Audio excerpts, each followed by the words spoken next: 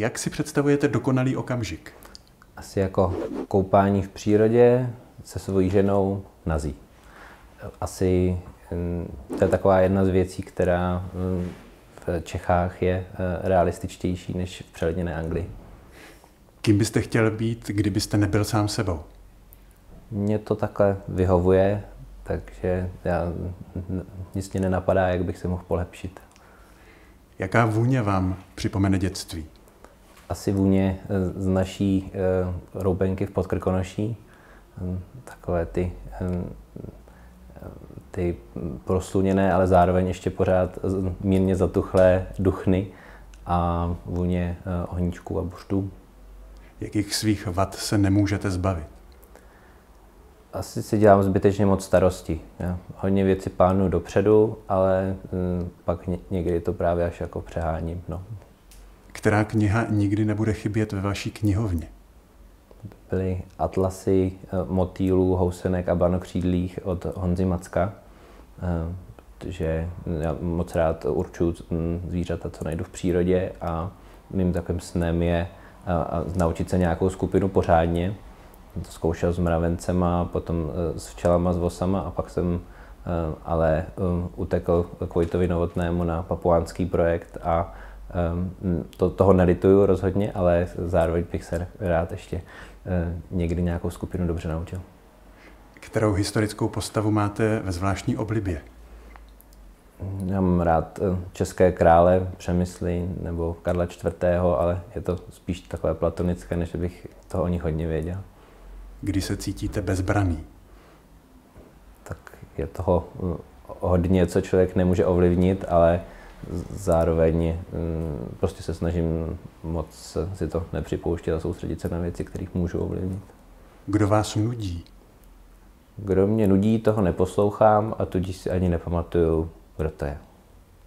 Máte doma něco, čeho byste se nezbavil? Z věcí asi nic. Jaká je první věc, kterou uděláte ráno, když vstanete?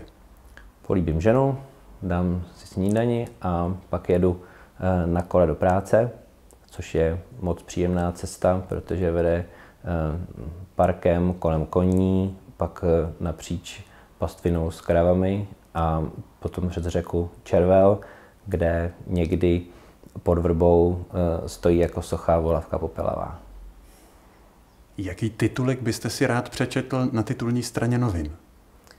Asi něco pozitivního o Ukrajině.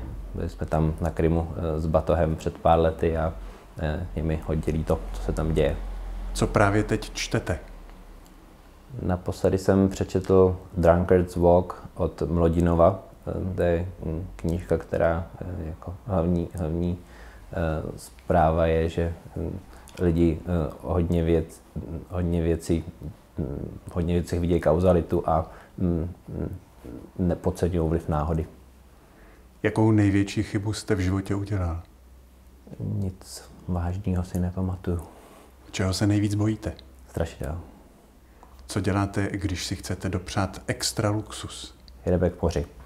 Eh, teď, loňské léto bylo v tom ohledu v Anglii velmi příznivé, hm, až jsem si říkal, proč tam vlastně lidi nejezdí za mořem ale eh, pak jsem si přečetl někde v novinách, že to bylo nejteplejší léto za posledních 100 let, takže možná to letos nebude tak, tak horké. Ale, mm, ale jinak eh, hodně se nám líbí, mm, když se dá kombinovat moře a hory, takže ostrovy, kde, které mají vysoké hory, jako třeba Tenerife nebo Lombok, eh, tak to je úplně ideální. V co nevěříte? Ve strašidla. Co děláte v životě rychle? přednávám šice z kytky na kytku, ale eh, potřeboval bych to dělat ještě mnohem rychleji. Při jaké příležitosti lžete? Lžu dětem, že nemáme tuškové baterie do jejich hlasitých hraček. Jakou schopnost byste nejvíce chtěl mít?